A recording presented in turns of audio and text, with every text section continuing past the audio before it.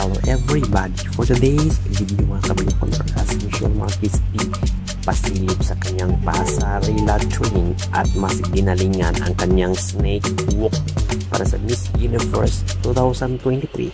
Narito ang video ating silipin.